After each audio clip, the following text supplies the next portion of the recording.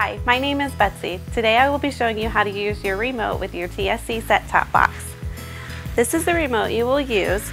Across the top there are five different function buttons for the different devices you can program into your universal remote.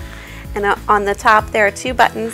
One is the power button for each individual device and one is the system button.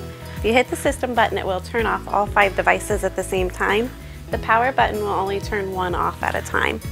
If you would like to change the volume on your TV, you will want to make sure to hit the TV button before you hit the volume up and down.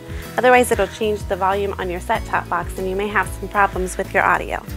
There is also a video source button at the bottom of the remote.